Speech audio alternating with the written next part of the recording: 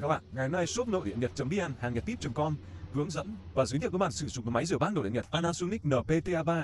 Máy rửa bát nội địa nhật có các tính năng rửa bát, giấy bát sau khi rửa. Máy sẽ được chúng tôi kiểm tra vệ sinh và việt hóa toàn bộ các chữ tiếng Nhật để các bạn dễ dàng sử dụng. Cái máy này là máy qua sử dụng. Máy có chiều cao là 60 cm, chiều rộng là 55 cm, chiều sâu là 35 cm.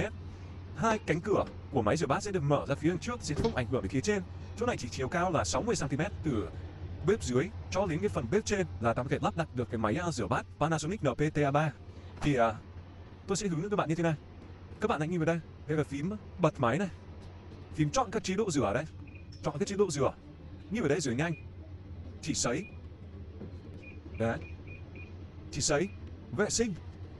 Các mức rửa 1 2 3 mức rửa 1 2 3 là mức rửa nhẹ yếu ảo nhẹ trung bình và mạnh của ba mức rửa của bên này là các bạn chọn chế độ sấy với chế độ là giữ khô 45 phút 45 phút giữ khô 60 phút 60 phút giữ khô. Chế độ thổi gió. Còn bên này là rửa bát sau 4 giờ, là sau 4 giờ máy mới rửa.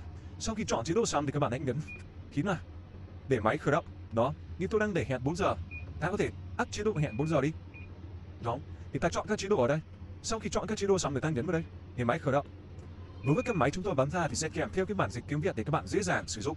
Bạn nào có nhu cầu về máy rửa bát Panasonic NPTA3, vui lòng liên hệ để biết thêm chi tiết xin cảm ơn.